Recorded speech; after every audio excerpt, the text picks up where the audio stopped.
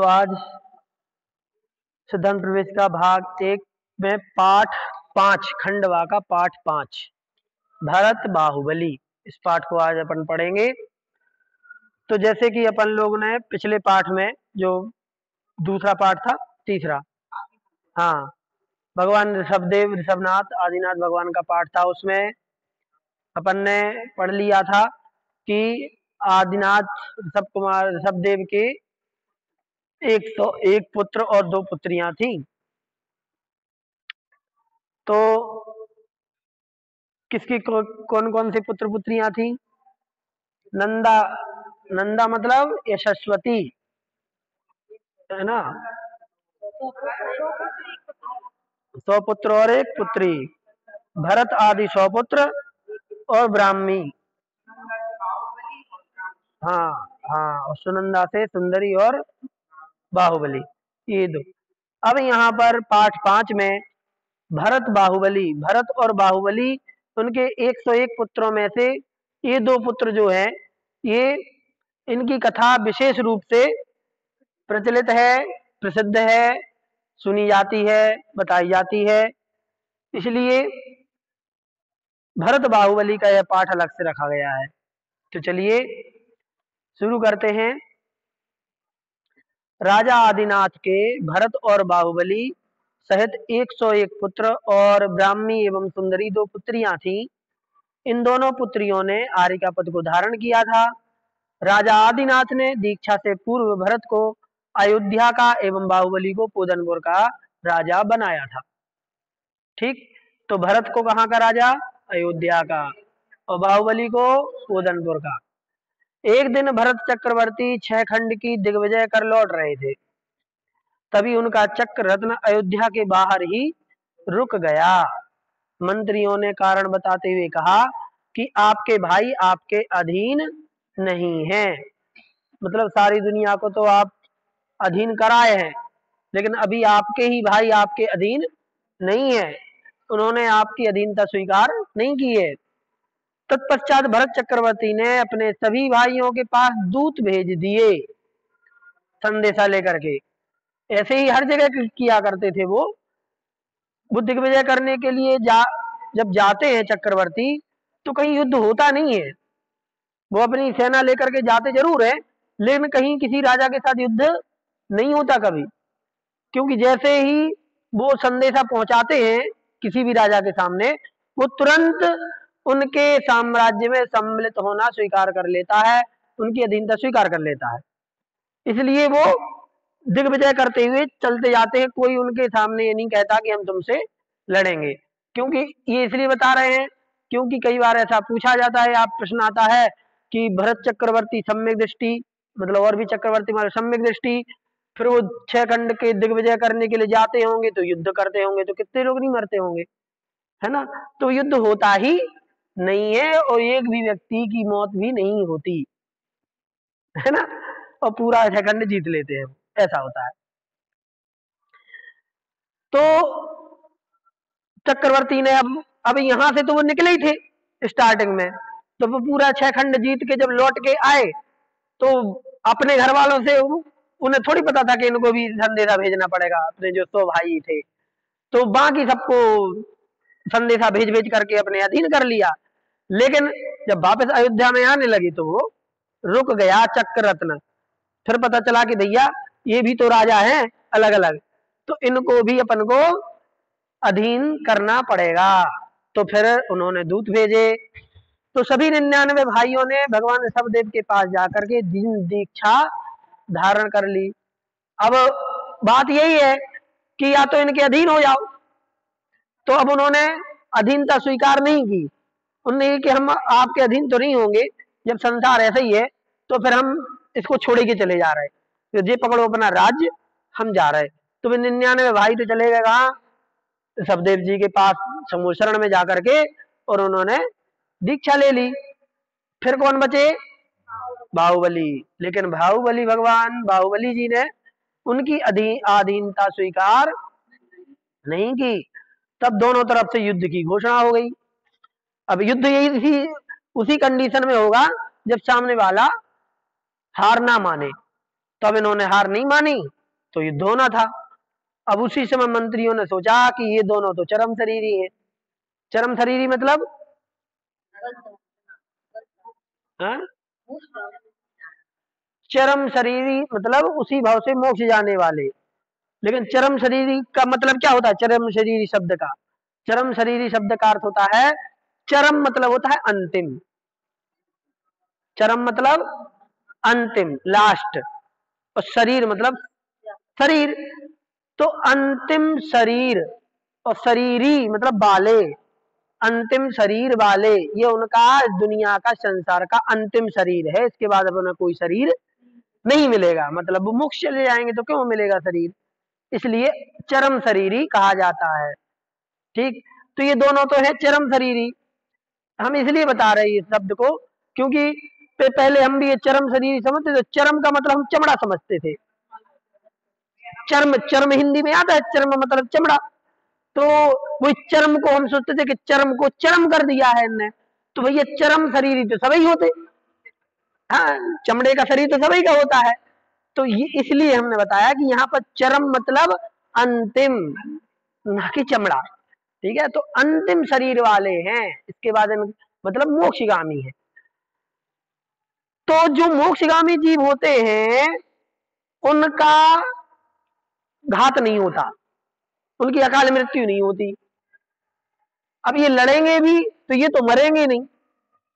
बाकी सेना मर जाएगी। है ना?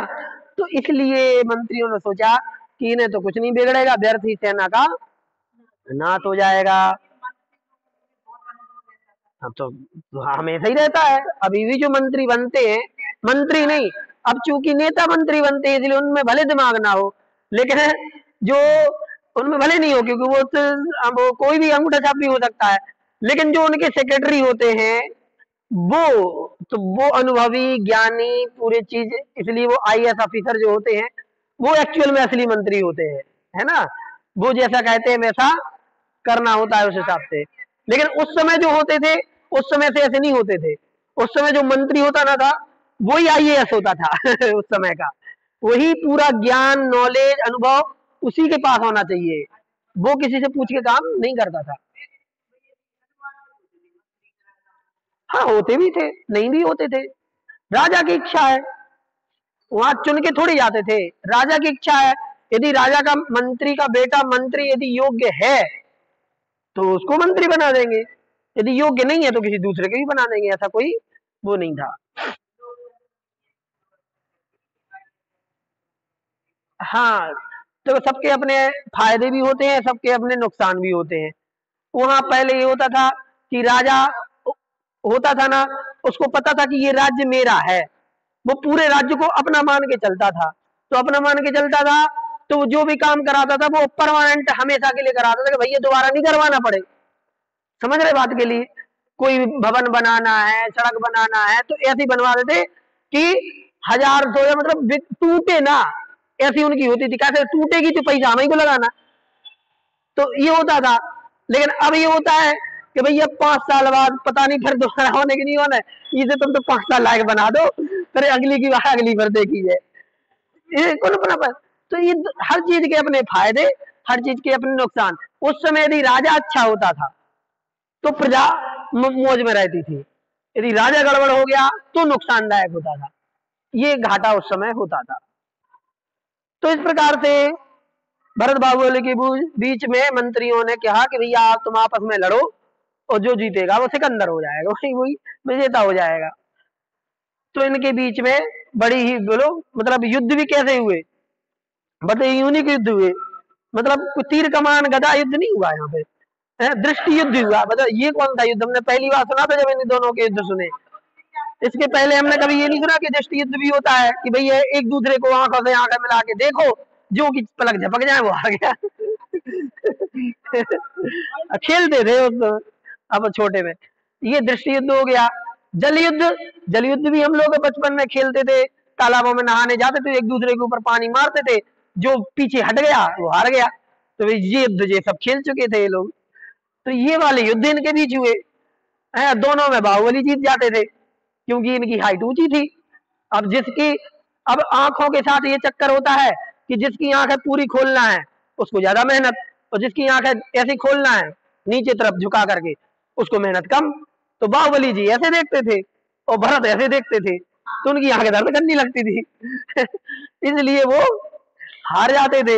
ऐसे ही पानी उलझने में भी ये ऊँचे थे तो ये मारते थे तो उनके दूर तक पानी जाता तो उनके मुँह पे गलता था और ये मारते थे उनके मुँह। हाँ ऊंचाई का फ़ायदा उठाते थे बाहुबली। इसलिए हार जाते थे। और फिर अंत में मल्लयुद्ध हुआ तो मल्लयुद्ध में भी ऊंचाई थी, ताकत थी तो उठा उठा के फेंक देते होंगे। भारत को तीनों में हार गए। अब हार गए तो क्या हुआ? अब परेशान भरत बाहुबली। कि भरत के शरीर की ऊंचाई 500 धनुष प्रमाण, बाहुबली के शरीर की ऊंचाई 525 धनुष प्रमाण। अतः भरत दृष्टि युद्ध, जल युद्ध में हार गए।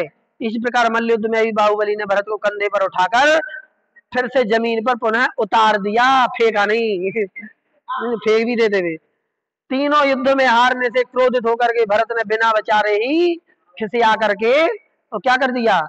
चक्कर चला दिया कि रुक जाओ, हम यही बचा है तुम्हारे पहले लेकिन चरम शरीर का कुछ बिगड़ता नहीं है। इसलिए वो चक्ररत्न भी अपने गोत्रज बंधुओं का घात नहीं करता। अपने गोत्रज मतलब सगे जो भाई बहन होते। इसलिए चक्र बाहुबली कामदेव की प्रदक्षिणा दे करके लौट गया। भरत के इस कृत्य को देख करके बाहुबली को बहुत दुख हुआ कि देखो एक छोटी सी पोदनपुर नगरी के चक्कर में इसने हमें जान से मारने की ए, कोशिश की चक्कर चला दिया सोचो। पूरे छह खंड में किसी के ऊपर नहीं चलाया हमारे ऊपर चक्कर चलाया। तो क्रोधित होकर के क्रोधित भी हुए और दुखी भी हुए। और संसार के विषय में चिंतन करते हुए इनको भी वैराग्य हो गया।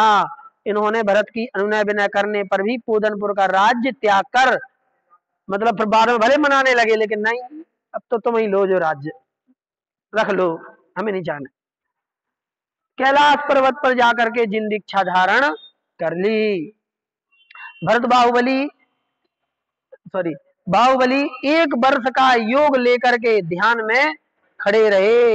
एक वर्ष का उन्होंने सीधा एक वर्ष का योग धारण कर लिया था कि एक वर्ष तक हम नहीं हिलेंगे, ऐसा। सर्पों ने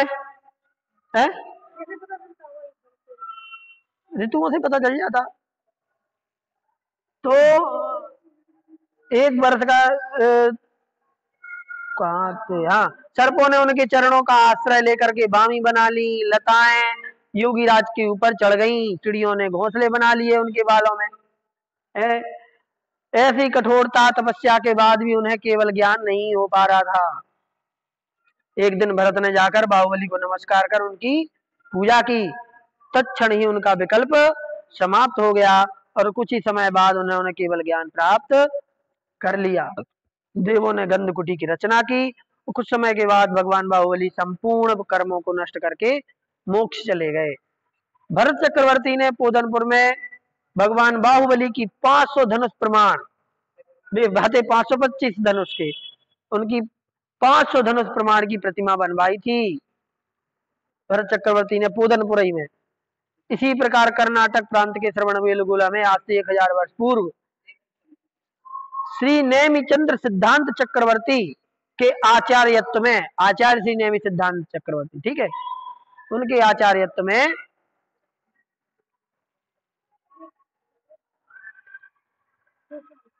राजा चामुंड राय ने सत्तावन फुट ऊँची अत्याकारी मनो की प्रतिमा की प्रतिष्ठा कराई, जो गोम मटेश बाहुबली के नाम से प्रसिद्ध है। भरत चक्रवर्ती ने भी बाद में वैराग होने पर मुनि दीक्षा धारण कर समस्त कर्मों को नाश करके मोक्ष प्राप्त कर लिया था। इस प्रकार से भरत भगवान, बाहुबली भगवान दोनों ने ही अपने अपने जीवन में कर्मों को नाश करके उत्तम गति को प्राप्त किया है। इस प्रकार से अपना पाठ पाँच भी पूरा हो गया।